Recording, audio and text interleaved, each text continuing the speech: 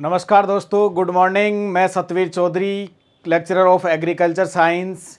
आज अपन twelfth class के चैप्टर नंबर वन का टॉपिक नंबर टू पढ़ेंगे, जिसमें टॉपिक का नाम है मर्दा क्षरण और मर्दा संरक्षण, जिसे मर्दा अपर्दन के नाम से भी जाना जाता है। तो देखिए दोस्तों, मर्दा क्षरण के बारे में क्या क्या पढ़ेंगे अपन? मर्दा क्षरण की परिभाषा, मर्दा क्षरण कौन कौन सी शक्तियों द्वारा होता है, कितने प्रकार का होता है तथा इन्हें रोकने के क्या क्या उपाय हैं? तो इसमें फ़र्स्ट ऑफ़ ऑल अपन सबसे पहले स्टार्ट करेंगे कि मर्दाशरण कहते किसको हैं। मर्दा का अपने भौतिक रूप से कणु का हटना क्या कहलाता है? मर्दा शरण कहलाता है या मर्दा अपर्दन कहलाता है। या विभिन्न क्षरण शक्तियों द्वारा मर्दा कणु का एक स्थान से हटकर दूसरे स्थान पर चले जाना मर्दा शरण कहलाता है। मर्दा संरक्षण की जहाँ तक बात करें तो इन विभिन्न शक्तियों से मर्दा कणों को बचाना या कटने से रोकने को बचाना या शरण होने से बचाना मर्दा संरक्षण कहलाता है। देखिए दोस्तों, मर्दा शरण मुख्य रूप से कौन कौन से हैं? वो देखिए आप। मर्दा शरण भौतिक रूप से मिट्टी कणु का अपने स्थान से हटने की क्रिया मर्दा शरण कहलाती है। ये बात सही है, लेकिन इधर देखिए, मर्दा शरण को एक इमेज के रूप में आप देखेंगे तो बड़े बड़े पानी के माध्यम से नाले पड़ रहे हैं, मर्दा का कटाव हो रहा है, बहुत बड़ी मात्रा में। इधर दूसरी तरफ़ भी आप खेत की तरफ़ देखेंगे, गौर करके तो मर्दा का कटाव हो रहा है पानी के माध्यम से। नेक्स्ट अपन बात करें, मर्दा संरक्षण। तो विभिन्न शरण शक्तियों द्वारा, शरण शक्ति कौन सी है? शरण शक्ति है एक तो वायु, और दूसरा कौन है? जल। ये दो शरण शक्तियाँ ज़्यादातर जिम्मेदार हैं। इनसे कटाव को बचाना ही मर्दा संरक्षण कहलाता है। देखिए, आप लोग इस इमेज में आराम से देख सकते हैं कि मर्दा को घास फूस और डंटलों से ढक रखा है। इस ढकने को मल्चिंग कहते हैं, क्योंकि इस पे डायरेक्ट न तो वर्षा की बूंदों का प्रहार हो सकता है। वायु अगर तेज गति से आए भी तो भूमि की सतह के ऊपर कोई फ़र्क नहीं पड़ेगा, जिससे मर्दा का कटाव बच सकता है, मर्दा प्रधन बच सकता है। नेक्स्ट इमेज में भी यही कर रखा है, घास फूस से मेड को ढक रखा है, जिससे मर्दा का क्षरण कम से कम हो। तीसरी इमेज में आप देखेंगे, पॉलीथीन सीट या प्लास्टिक सीट से मर्दा सतह को कवर कर रखा है, जिससे मर्दा का अपर्दन नहीं होता है। देखिए दोस्तों मल्चिंग के और भी कई फ़ायदे हैं। इसमें मर्दा नमी का संरक्षण हो सकता है, खरपतवारों की वृद्धि को रोका जा सकता है। इसके साथ साथ भूमि में अनावश्यक रूप से उगने वाले खरपतवारों की वृद्धि को भी कम किया जा सकता है। नेक्स्ट बात करते हैं दोस्तों अपन मर्दाशरण के प्रकार। मर्दाशरण मुख्य रूप से दो प्रकार का होता है। एक प्राकृतिक शरण दूसरा त्वरित शरण प्राकृतिक क्षरण कौन सा होता है? वह क्षरण जो वनस्पति आच्छादित मर्दाओं में वायु और जल के द्वारा धीरे धीरे मर्दा का कटके एक स्थान से दूसरे स्थान पर चले जाना। ये प्रोसेस बहुत धीमा प्रोसेस होता है। इसमें मर्दा का कटाव बहुत कम मात्रा में होता है। ये शरण मनुष्य के द्वारा रोका नहीं जा सकता है। दूसरे बात करें अपन त्वरित शरण की।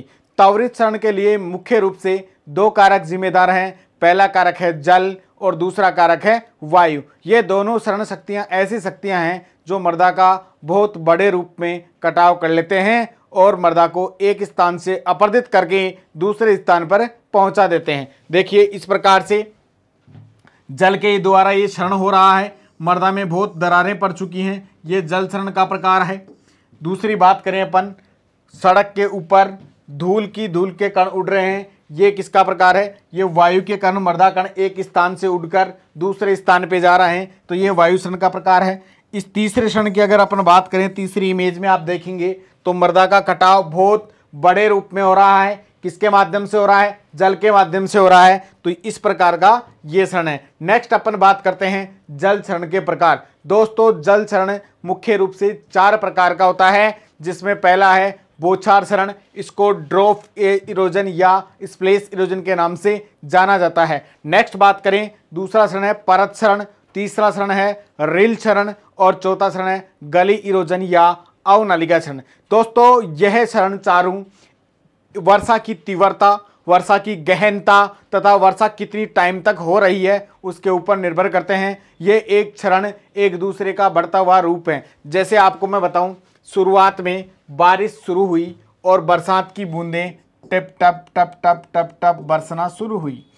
इस दौरान क्या होगा? मर्दा की ऊपरी सतह पर जो कण मौजूद रहते हैं, बरसात के कारण ये छिन्न भिन्न हो जाते हैं एक स्थान से दूसरे स्थान पर आपस में। लेकिन इसका कोई प्रभाव ज़्यादा नहीं पड़ता। ये कण आपस में एक दूसरी जगह जाके गिर जाते हैं। इसका कोई खास प्रभाव नहीं पड़ता। इसे कहते हैं बोछार शरण या स्पेशल स्पेलेस इरोजन के नाम से जाना जाता है। नेक्स्ट अपन बात करते हैं पराक्षरण जब बरसात में ये कार्यक्रम हो रहा था, बारिश थोड़ी सी और तेज हो जाती है और वर्षा की गहनता क्या हो जाती है? बढ़ जाती है। तो इस दौरान क्या हो जाता है? मर्दा का एक परत के रूप में क्षरण होके धीरे धीरे पोषक तत्वों के साथ निकलने लग जाते हैं। इसको बोलते हैं परत शरण इस परत शरण को सूक्ष्म शरण के नाम से भी जाना जाता है। ये शरण मनुष्य की नग्न आँखों के द्वारा दिखाई नहीं देता है। इसे किसान की मौत के नाम से भी जाना जाता है। इसमें पोषक तत्व का बहुत बड़ी मात्रा में नुकसान हो जाता है। देखते ही देखते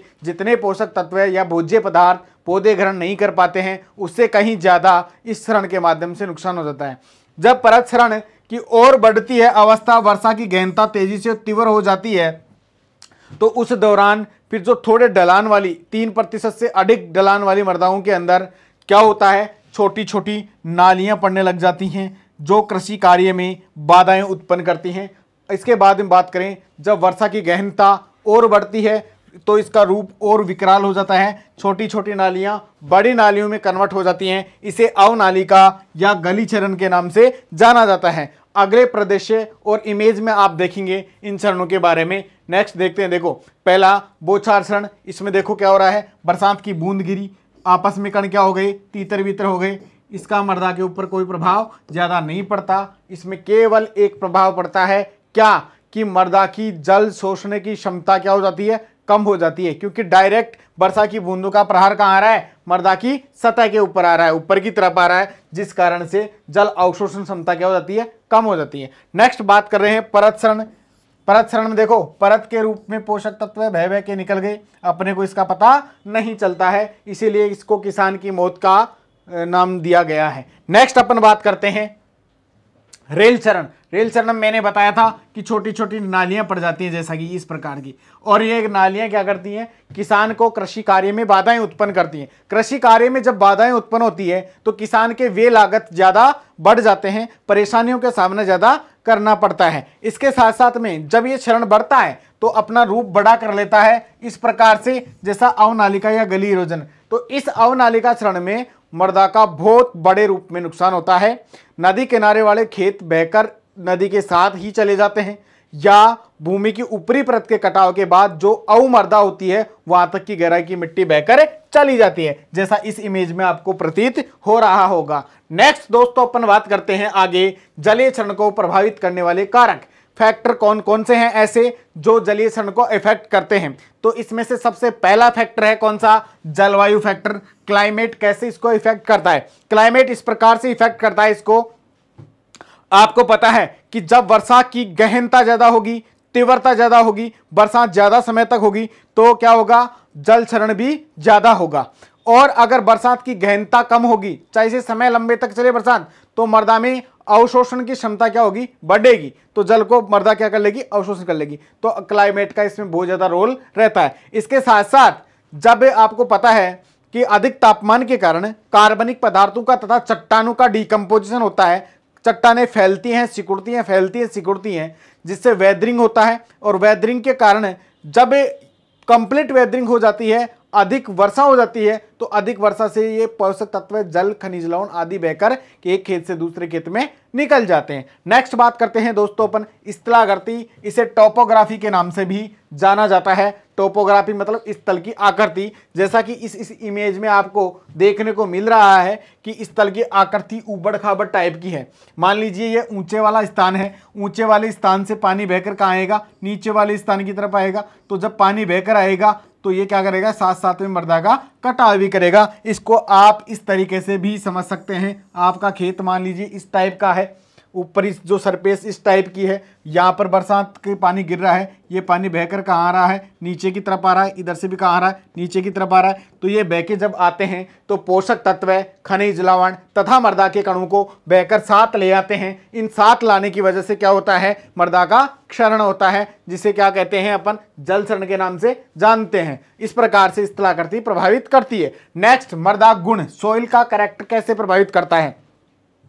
आपको पता है, जो मटियार मर्दाएँ होती हैं, काली मर्दाएँ होती हैं, चिकनी मर्दाएँ जिनको बोलते हैं, उनके मर्दाओं का कण का आकार बहुत छोटा होता है। कण का आकार छोटा होने से उनमें सुगठ्यता पाई जाती है। वो मर्दा कण आपस में चिपके रहते हैं, जकड़े रहते हैं आपस में, जिस कारण से क्या होता है, मर्दा का कटाव कम होता है। आपने दूसरी तरफ़ देखा होगा, बलुई या रेतीली मृदाओं में कणों का आकार मोटा होता है। इनके कारण क्या होता है, ये कण जल्दी ही तितर बितर हो जाते हैं। तो ऐसी मृदा कणाकार वाली मर्दाओं का अपर्धन भी ज़्यादा होता है। नेक्स्ट दोस्तों अपन बात करते हैं वनस्पति का प्रभाव वेजिटेशन का क्या इफ़ेक्ट है? जिन मृदाओं के ऊपर वनस्पति उगी रहती है, घास फूस उगा रहता है, फ़सलें उगी रहती हैं तो वो क्या डायरेक्ट बरसात की बूंदें उस ज़मीन की सतह के ऊपर या भूमि की सतह के ऊपर प्रहार नहीं कर पाती हैं, तथा उनकी जो फ़सलों की और घास फूस की जो जड़ें रहती है, वो मर्दा को जाकड़े रहती हैं, जिस कारण से मर्दा का प्रधन या शरण बिल्कुल भी नहीं होता है। नेक्स्ट अपन बात करते हैं मानवीय कारक। मानव कारक कैसे जिम्मेदार है इस चीज़ के लिए? कई बार क्या होता है, जैसे मान लो, भूमि का ढलान इस प्रकार से है। भूमि का ढलान इस प्रकार से और मनुष्य भी जुताई इस प्रकार से ही कर रहा है। तो ऐसी कंडीशन में क्या होगा? मर्दा का कटाव अधिक होगा। जब मनुष्य ढलान के विपरीत जुताई करे, जैसे ढलान इधर है और जुताई अगर यूँ कर रहा है तो इसमें क्या होगा? मर्दा का कटाव बिल्कुल ही कम होगा। तीसरी बात क्या करते हैं अपन? गहरी जुताई के बाद में कम जुताई करें आप। मतलब गहरी जुताई करने से क्या होगा? जल को शोषण क्षमता मर्दा की बढ़ेगी। और कम जुताई आप, आपको बाद में करनी है। जब बारिश चली गई तो उसके बाद में क्या करना है आपको? कम जुताई मतलब अधो मर्दा सतह तक आपको जुताई करते रहना है। ये मानवीय कारक भी इसके लिए इफ़ेक्ट करता है। नेक्स्ट अपन बात करते हैं मर्दा संरक्षण की विधियाँ। मतलब जल शरण से जो मर्दा का नुकसान हुआ है उसको बचाया कैसे जा सकता है? और इसमें दोस्तों पहली विधि है सस्य संबंधित विधि एग्रोनॉमिकल कंट्रोल कैसे कर सकते हैं? या एग्रोनॉमी की ऐसी कौन कौन सी विधियाँ हैं जिसके माध्यम से जल संरक्षण किया जा सकता है, जल शरण किया जा, को रोका जा सकता है? कैसे? पहली है समोच्च विधि। जो डलहान वाले क्षेत्र होते हैं, उनको समोच्च विधि के माध्यम से रोका जा सकता है। इसे कंटूर फ़ार्मिंग के नाम से जाना जाता है। कंटूर क्या होती है? दो समान ऊंचाई वाली रेखा जहाँ एक जगह मिलती है, उस रेखा को क्या कहते हैं? कंट्रोल रेखा कहते हैं। जैसे समाई ऊंचाई, इस इमेज में आप देख सकते हैं, यहाँ पर और यहाँ पर ये रेखा अपन देख रहे हैं, ये समान ऊंचाई वाली रेखाएँ ये रेखाएँ हैं, ये रेखाएँ हैं। तो ये समान ऊंचाई पर एक ढलान वाले क्षेत्र को क्या कर रही हैं? बांट रही हैं। तो इसे कहते हैं कंट्रोल रेखा। तो जो ढलान वाले क्षेत्र होते हैं, उनमें इन कंट्रोल रेखाओं का प्रयोग किया जाता है, जैसा कि आप इमेज में देख सकते हैं। नेक्स्ट दोस्तों, अपन बात करते हैं भू परिष्करण भू परिष्करण क्या होता है? भूमि के साथ साथ जुताई, निराई, गुड़ाई, बुहाई आदि सभी क्रियाएँ करना क्या कहलाता है? भू परिष्करण कहलाता है। आप अगर मर्दा की गहरी जुताई करेंगे, सब सोइलर यंत्र के माध्यम से करेंगे खेत को खुला छोड़कर तो इसमें क्या होगा, जब बारिश आएगी तो पानी अवशोषण दर क्या होगी खेत की? बढ़ेगी। अवशोषण दर बढ़ने से क्या होता है दोस्तों? मर्दा का कटाव बिल्कुल भी नहीं होगा तो इससे मर्दाशरण को बचाया जा सकता है। नेक्स्ट अपन बात करते हैं, पलवार या मल्चिंग के नाम से भी इसको जाना जाता है। मल्चिंग क्या होता है? कवरिंग ऑफ़ सोइल सरफेस मर्दा की ऊपरी सतह को ढकना ही मल्चिंग कहलाता है। आप घास फूस के माध्यम से कूड़ा करकट के माध्यम से, फ़सल अवशेषों के माध्यम से मर्दा की ऊपरी सतह को ढक सकते हैं। मर्दा की ऊपरी सतह को ढकने से वर्षा की बूंदों का डायरेक्ट प्रहार ज़मीन की सतह पर नहीं पड़ेगा और मर्दा का कटाव क्या होगा? कम से कम होगा। इस मल्चिंग के और भी कई फ़ायदे हो सकते हैं, जैसा कि खरपतवार नियंत्रण हो सकता है, मर्दा की सतह पर नमी बनी रह सकती है, नमी का नुकसान ज़्यादा नहीं होगा। नेक्स्ट अगले बात करते हैं अपन फ़सल चक्कर की। फ़सल चक्कर किसे कहते हैं? क्रॉप रोटेशन के नाम से इसको जाना जाता है।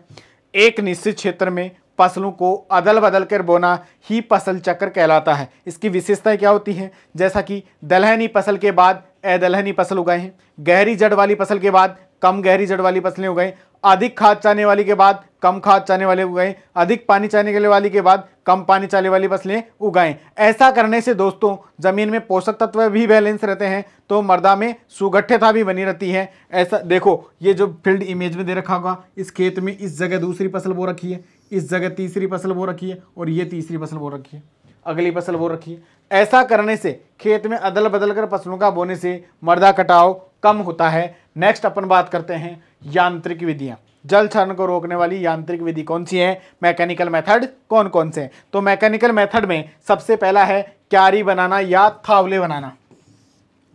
देखिए, इस फ़ील्ड को अलग अलग क्यारियों में बांट रखा है तो इस क्यारी का पानी इसी क्यारी में रहेगा, इसका पानी इसमें रहेगा, इसका पानी इसमें रहेगा। पानी एक दूसरी जगह बह के नहीं जाएगा तो मर्दा का कटाव बिल्कुल भी नहीं होगा मतलब यहाँ क्षरण की संभावना ज़ीरो प्रतिशत है। नेक्स्ट अपन बात करते हैं थावले के अंदर। इस पौधे में प्रॉपर रूप से थावला बना दिया गया। अगर ये थावला बना दिया तो थावले का पानी थावले के अंदर ही रहेगा। एक रिंग के अंदर ही रहेगा। ये दूसरे पौधे को डिस्टर्ब नहीं करेगा। बहकर पानी एक स्थान से दूसरे स्थान पर नहीं जाएगा। तो ऐसी विधियाँ कर अपनाने से आप मर्दा कटाव को काफ़ी हद तक कंट्रोल कर सकते हैं। मर्दा शरण को रोक सकते हैं। इस प्रकार से सिंगल सिंगल थावले बना के भी आप रोक सकते हैं। नेक्स्ट अपन बात करें अधोभूमि की गहरी जुताई।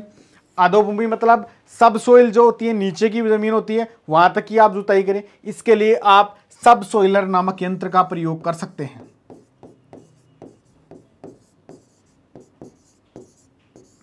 यह सब सोइलर नामक यंत्र गहरी जुताई करता है, जिससे क्या मर्दा में पानी अवशोषण की दर बढ़ती है। आपको यह क्वेश्चन भी पूछा जा सकता है, बेटा। कि गहरी जुताई करने वाला या मिट्टी पलटने वाला यंत्र कौन सा है? सब सोइलर नामक यंत्र है। नेक्स्ट अपन बात करते हैं, कंटूर टेरेसेस बनाकर भी आप रोक सकते हैं। कंटूर टेरेसेस मतलब वही समुच्चय खेती की तरह है, लेकिन इसमें ढाल के अकॉर्डिंग रेखाएँ बनाई जाती हैं, इस प्रकार से। एक चबूतरे टाइप शेप के अंदर बनाई जाती है। ठीक है? यहाँ तक का इस सबूतरे के अंदर कंट्रोल हो गया पानी, यहाँ तक का इसमें कंट्रोल हो गया, यहाँ तक का इसमें कंट्रोल हो गया। ऐसा करने से कंट्रोल टेरेसिस बनाई जाती है, एक टाइप है सीडी नुमा देखो, इस टाइप से बनाई जाती है। और इनकी आकृति आकार ढलान के अनुसार बढ़ाया और घटाया भी जा सकता है। अगर ढलान अधिक है इस तरीके से तो कंटूर की लंबाई क्या कर सकते हैं? घटा सकते हैं। अगर ढलान ऐसे कम है तो कंटूर की लंबाई क्या कर सकते हैं आप? बढ़ा सकते हैं।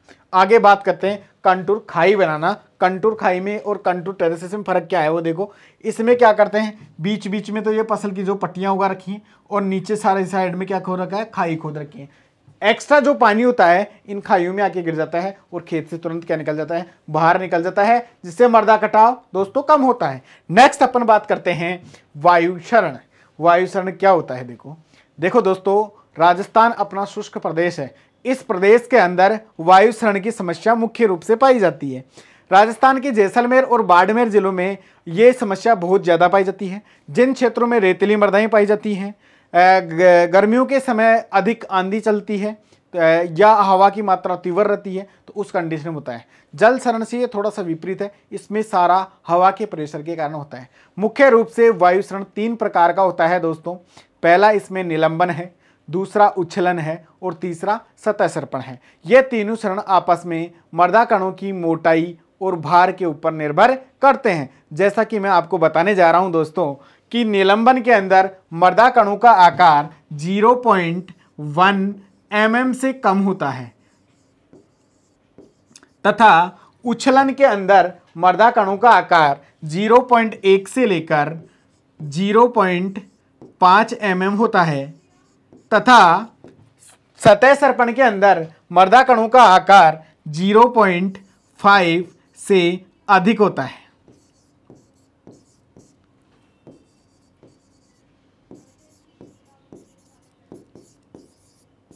मतलब ये मर्दा कण हल्के हैं, ये इनसे थोड़े भारी हैं और ये थोड़ा और ज़्यादा भारी है। इस प्रकार का सिचुएशन होता है। अब इनमें होता क्या है? नेक्स्ट अपन बात करें।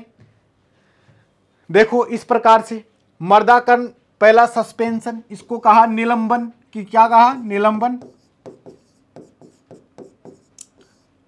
हवा का प्रेशर इधर से लग रहा है। मर्दाकण क्या है? हल्के हैं। 0.1 mm से कम इनका क्या है? व्यास। कम व्यास होने के कारण, कम भारी होने के कारण प्रेशर के कारण ये मर्दाकण ऊपर उठ जाते हैं और हज़ारों किलोमीटर तक दूरी तक ये चले जाते हैं। इसका आपको मैं स्लाइड में दर से दिखाने जा रहा हूँ, इस प्रकार से देखिए दोस्तों। ये आंधी जब आती है तो आकाश का रंग इस प्रकार से हो जाता है। ये एक प्रकार से निलंबन का प्रकार है। इसमें जो हल्के कण थे, छोटे कण थे, हवा के प्रेशर के कारण ऊपर उठ के चले जाते हैं। ये निलंबन होता है। इसमें मृदा का केवल तीन से पाँच प्रतिशत नुकसान होता है। इस चरण में केवल इतना ही नुकसान होता है। नेक्स्ट अपन दोस्तों बात करते हैं, वापस उसी पे चलते हैं साल्टेशन साल्टेशन को उच्छलन के नाम से जाना जाता है। उछलन में क्या? वो ही हवा का दबाव लगा। ये मर्दाकण उनसे क्या होते हैं? बाहरी निलंबन वाले से। इनका व्यास बताया था 0.1 से 0.5 पॉइंट mm. तो ये मर्दाकण उड़ तो सकते नहीं भारी होने के कारण। अरे भाई, भारी आदमी होगा तो वो थोड़ा कम उड़ेगा ये मान लो एक तरीके से। तो ये कण उड़ तो सकते नहीं, ये उछल के एक स्थान से दूसरे स्थान पर वहीं गिर जाते हैं, कुछ दूरी पे जाके। इसमें देखो, आप से देख सकते हैं, इस प्रकार से, जैसे रेगिस्तानी क्षेत्रों के अंदर रात को टीला यहाँ पर बना हुआ था, और आपने सुबह उठ के देखा टीले को। टीले देखा तो टीला आपको मिला यहाँ पर मतलब ये मर्दाकण उछल के एक स्थान से दूसरे स्थान पर गिर जाते हैं। इसमें मर्दा का 50 से पिछहत्तर प्रतिशत नुकसान होता है। मतलब सबसे ज़्यादा अगर वायु शरण में बात की जाए तो उच्छलन के माध्यम से ही नुकसान होता है। दोस्तों, ऐसा क्वेश्चन एग्ज़ाम में काफ़ी बार पूछा गया है। जैसे आपके जेट और आईसीआर के एग्ज़ाम है, इन एग्ज़ाम्स में ऐसे क्वेश्चन पूछते हैं कि सबसे अधिक वायु क्षण कौन से शरण में होता है? उच्छलन में होता है। आगे दोस्तों अपन बात करते हैं सतह सर्पण की। तो सतह सर्पण में क्या होता है? सतह सर्पण में ये कण और ज़्यादा भारी होते हैं। 0.5 एम mm से भी क्या है? अधिक व्यास है। न तो ये कण उछल सकते, न ये कण उड़ सकते। ये कण रेंक कर एक स्थान से दूसरे स्थान पर चले जाते हैं। इसमें क्या होता है? मर्दा का नुकसान 10 प्रतिशत तक होता है। आप इसकी सिचुएशन भी देख सकते हैं। ये सिचुएशन इसमें मर्दा कण उड़े यहीं गिर गए, उड़े यहीं गिर गए, उड़े यहीं गिर गए। ये कण भारी होते हैं व्यास में, इस कारण से न उछल सकते, न उड़ सकते। अगले चैप्टर में अपन बात कर रहे हैं दोस्तों कि मर्दा वायु शरण को कैसे प्रभावित करते हैं और कौन कौन से फैक्टर इसके लिए, कारक इसके लिए जिम्मेदार हैं। देखिए दोस्तों, जलवायु कारक सबसे जिम्मेदार है। इसमें यहाँ पर आपको क्वेश्चन भी पूछ सकता है, किस प्रकार से? कि भारत के किस राज्य में, भारत के किस राज्य में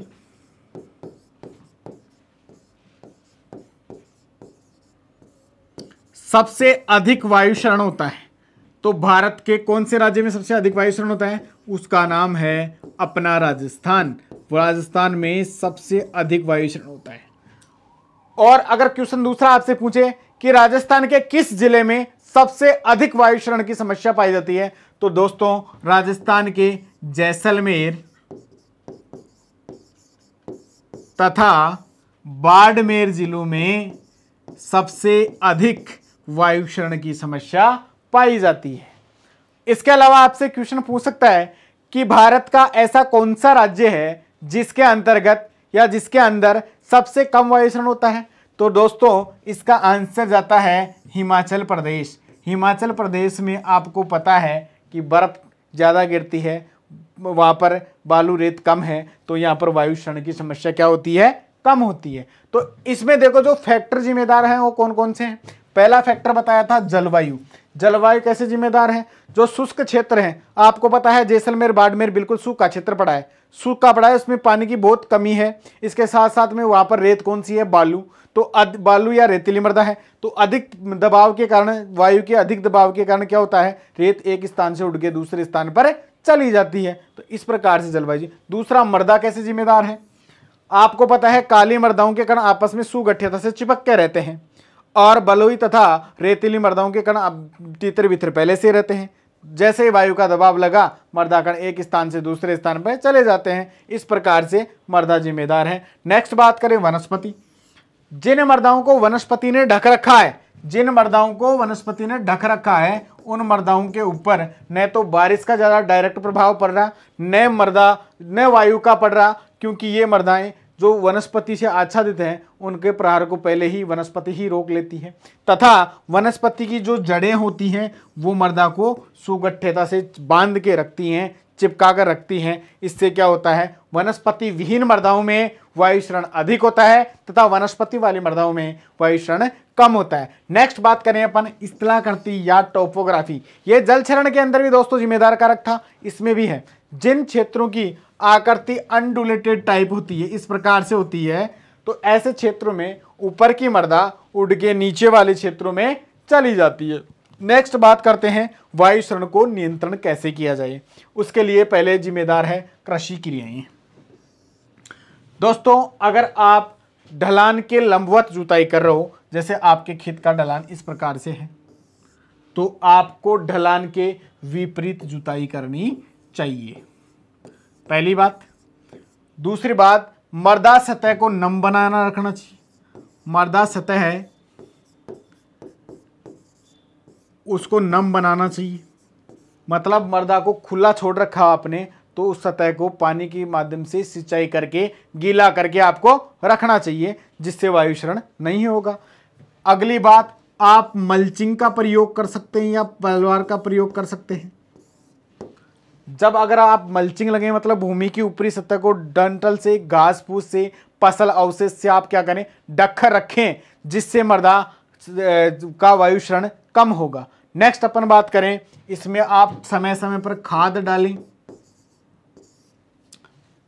खाद डालने से क्या होता है? मर्दा में कार्बनिक पदार्थ की मात्रा अधिक बढ़ती है। कार्बनिक पदार्थ बढ़ेगी तो मर्दा जो कण होते हैं, वो आपस में चिपकने की क्षमता ज़्यादा विकसित करते हैं। इसके साथ साथ में आप हरी खाद का प्रयोग करें। वही कार्बनिक पदार्थ की मात्रा हरी खाद से क्या होगी? इनक्रीज होगी, जिससे क्या होगा? मतलब मर्दा का कटाव कम से कम होगा। साथ साथ में आप हल्की सिंचाई करें फवारा वगैरह से। मर्दा की सतह को खुला नहीं छोड़ें। ग्रीष्मकालीन जो जुताई कर रहे हो आप, वो करके आप खुला छोड़ देते हैं मर्दा की सतह को तो वो आपको नहीं करना चाहिए। ऐसी कृषि क्रियाएँ आपको अपनानी चाहिए। साथ साथ में ऐसी फ़सलें उगाएँ जो मर्दा सतह को क्या करें, आप कवर करती हैं या ढककर रखती हैं, जैसे दलहनी फ़सल मर्दा की सतह को ढककर रखती हैं। आगे बात करें अपन वायु रोधक वृक्षों की पट्टियाँ लगाएँ। जिन क्षेत्रों में वायु शरण की समस्या ज़्यादा है, वहाँ पर समकोण स्थिति में, समकोण का मतलब पश्चिम क्षेत्र में तथा उत्तर क्षेत्र के अंदर समकोण के रूप में वृक्ष लगा दें। इस प्रकार से वृक्ष लगा दें, क्योंकि आपको पता है, उत्तर दिशा से ठंडी हवाएँ आती हैं और दक्षिण दिशा से सॉरी पश्चिम दिशा से लू ज़्यादा आती है। गर्मियों के टाइम में तो ऐसा होने से क्या होता है, जब अगर आपने वायुरोधक वृक्षों की पट्टियाँ लगा रखी हैं, देखो, एक तो इस इमेज में देख सकते हो आप वायुरोधक वृक्षों की पट्टियाँ, दूसरा इसमें देख सकते हो अलग अलग पट्टियाँ लगा रखी हैं इस प्रकार से, खेत के चारों तरफ़। तो इन पट्टियों के लगाने से, इन वृक्षों से मृदा का कटाव कम होगा, क्योंकि मृदा के संपर्क में डायरेक्ट हवा नहीं आएगी। वायुरोधक वृक्ष किस क्रम में लगाएँ? ये हमेशा आपको पिरामिड शेप में लगाने हैं दोस्तों। इस प्रकार से मतलब पहले आपको छोटा प्लांट लगाना है, फिर उससे बड़ा लगाना है, फिर उससे बड़ा लगाना है, फिर उससे बड़ा लगाना है, इस प्रकार से आपको लगाना। ताकि जैसे मान लो इस दिशा से हवा आ रही है तो ये हवा सीधा ऊपर से पिरामिड को क्रॉस करके निकल जाए, इस प्रकार से लगाते हैं। यहाँ पर भी क्वेश्चन आता है कि वायु रोधक वृक्षों की पट्टियाँ किस दिशा में लगानी चाहिए? दोस्तों वायु रोधक वृक्षों की पट्टियाँ उत्तर तथा पश्चिम दिशा में लगानी चाहिए। कौन सी स्थिति में लगानी चाहिए? समकोण स्थिति में लगानी चाहिए। 90 डिग्री के कोण को क्या कहते हैं? समकोण कहते हैं। तो समकोण स्थिति में लगानी चाहिए। कौन कौन से वृक्ष लगाएँ? आप नीम लगा सकते हो, करंज लगा सकते हो, बबुल लगा सकते हो खैरी लगा सकते हो, ऐसे वृक्षों का प्रयोग कर सकते हो। आगे बात करते हैं दोस्तों, मिट्टी के टीलों को आच्छादित रखना। मतलब अगर आपके टीले वाली भूमि है तो अगर खुली पड़ी है तो इन टीलों को क्या करना चाहिए? अपने को ढकना चाहिए। ढके किसके माध्यम से? उसके ऊपर जंगली पौधे लगा सकते हैं, जैसे कि झड़बेरी छोटे वो जो देसी बेर वाली झाड़ी आती है ना, उसको क्या कहते हैं अपन? जड़बेरी कहते हैं। इस प्रकार से मर्दा सतह को ये कवर करके रखती है। दूसरी बात, आप खीप लगा सकते हैं। खीप भी मृदा सतह को इस प्रकार से कवर करके रखती है। नेक्स्ट आप अंजन घास लगा सकते हैं।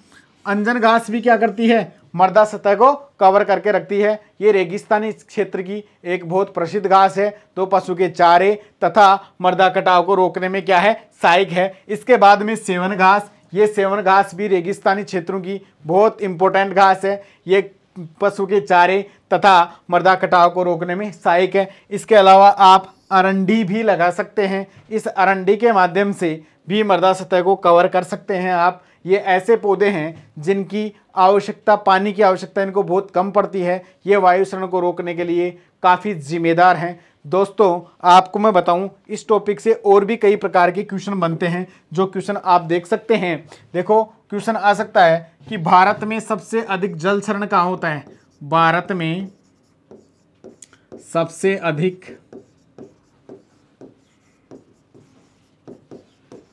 जल क्षरण, राज्य का नाम देके पूछ ले। तो दोस्तों, सबसे अधिक जल क्षरण भारत में कहा होता है? इसका आंसर है पश्चिमी बंगाल। क्योंकि पश्चिमी बंगाल में पानी ज़्यादा है इसलिए यहाँ पर जल क्षरण सबसे अधिक होता है। यही क्वेश्चन पूछ ले कि राजस्थान के किस ज़िले में, कौन से गए राजस्थान के किस ज़िले में सबसे अधिक वायुषण होता है?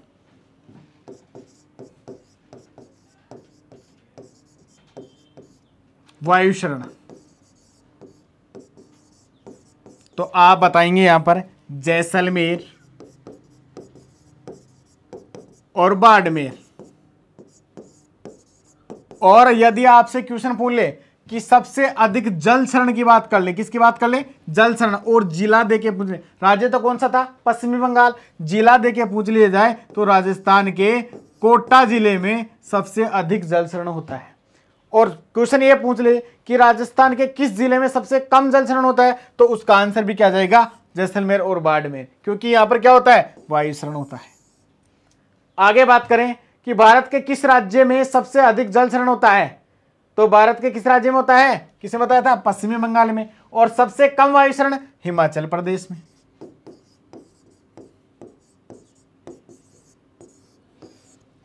तो इस प्रकार के क्वेश्चन आपके आ सकते हैं। दोस्तों, देखो, बोर्ड एग्जामिनेशन के हिसाब से भी ये टॉपिक बहुत इंपॉर्टेंट टॉपिक है। साथ में आपके जो JET, ICR competition agriculture supervisor वगैरह के लगते हैं, उनमें से भी इस टॉपिक में से क्वेश्चन आते हैं। जय हिंद, जय भारत।